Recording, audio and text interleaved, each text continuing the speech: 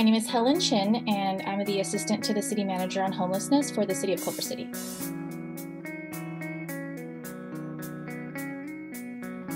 So I went to UCLA for my undergraduate degree, um, and I studied organismic biology, evolution, and ecology. Um, and I also have my master's degree from Antioch University, Los Angeles in urban sustainability. And the last place I worked was the RAND Corporation, and I worked in the survey research group for about 10 years.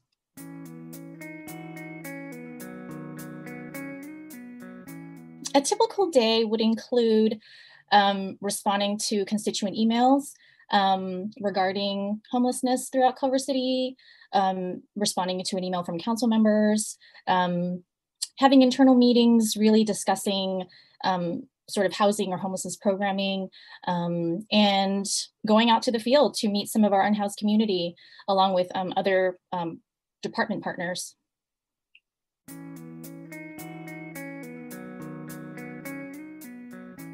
Injustice, um, inequity, the, fact that things are unfair um, motivate me to get out of bed in the morning.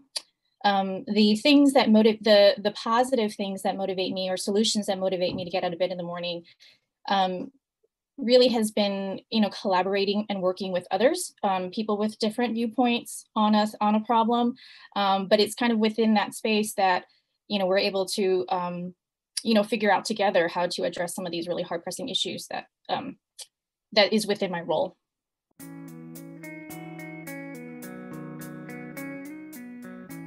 particularly because I'm working for local government and local government and government in general is about service provision to the community and the community overall is quite diverse. Um, even in an affluent community like Culver City.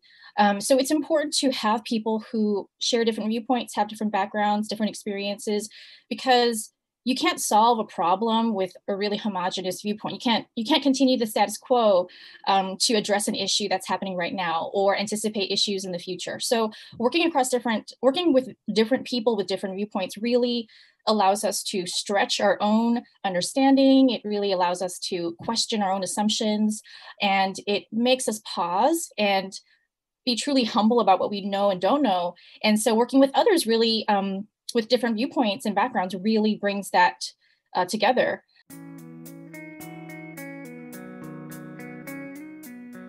Well, homelessness is a national, statewide, and a regional issue. Um, it is, you know, a symptom of a lot of systems failures.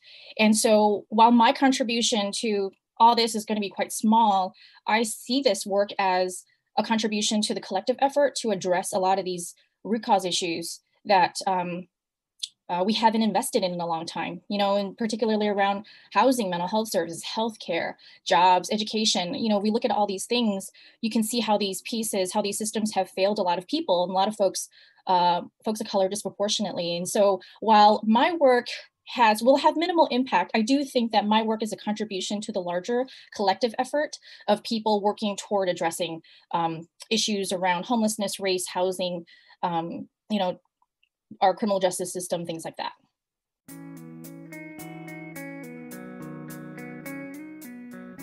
My advice for young people, I would say it's twofold. First of all, I would say the public sector is one of the remaining sectors right now that actually offers people a living wage. And that's really important for um, communities of color because historically the public sector has been a source of jobs a career ladder for um, our black community um, and other communities of color. And um, so that's one that's one aspect of it. And the other aspect of it is i do see a tide change and there's an opportunity to bring your your talents your analytical skills to within government to really serve the communities that um, that are often left out of the uh, uh of conversation of discussion of public decision making. And so you know if there is an element of wanting to come to the inside of institutions like government to to look at things through different lens uh, to truly um, create a bridge between communities who are who aren't really served by government to um, hopefully contributing to the the shifting culture of government serving our communities better um, i think those would be reasons for young folks to consider you know jobs in the public sector